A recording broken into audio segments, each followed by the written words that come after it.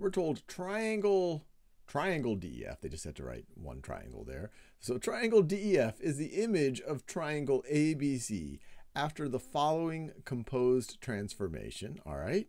Graph the pre-image of triangle ABC. So pause this video and have a go at it before we do this together.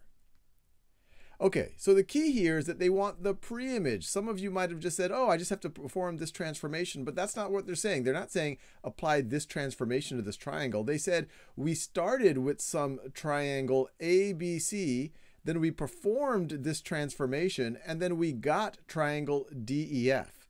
So what we really want to do is go in reverse. So you might just want to think about what's happening here. The original transformation took the negative of the x value, to get our new x value, and then it doubled the y value.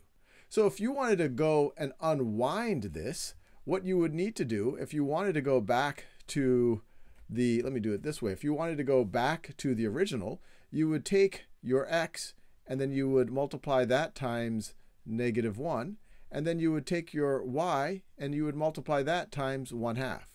Or another way to think about it is, if we perform the following transformation, which you could almost use the reverse transformation, where you take the negative of the x and you take half of the y, and we perform this on DEF, we should go back to ABC. And we can verify that. Once we think we have ABC, we can, we can do the original transformation and see what happens.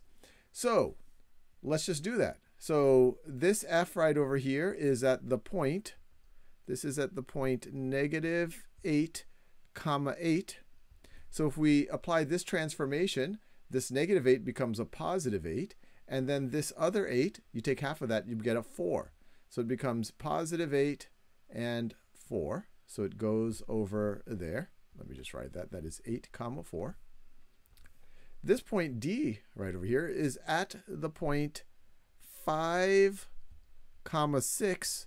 Well, you take the negative of that 5, you get to negative 5, and you take half of that 6, so negative 5 comma 3. So it takes us right there. So that's negative 5 comma 3.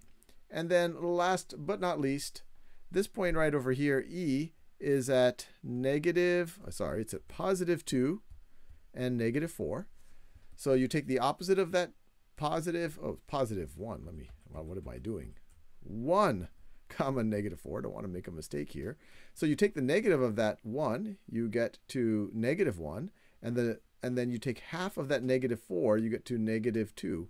You get right over here. So you go to negative 1 and then negative 2. And so this is what I am saying. I would argue that this is our ABC triangle. And if we want, we can validate that. We can actually apply this original transformation.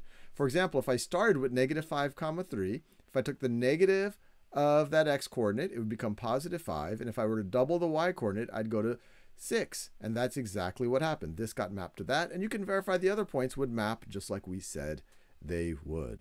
Now, one thing to take note of is that the angles in this transformation do get distorted, so it does not preserve similarity. Think about why that is.